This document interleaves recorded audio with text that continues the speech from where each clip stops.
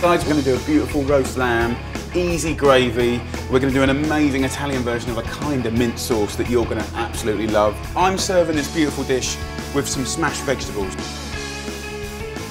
Gorgeous. I'm here to teach you how to make hot cross buns. These fabulous fruit buns are topped with the traditional dough cross and doused in a sticky orange glaze filled with currants and warm spices, and it also happens that they're gluten-free.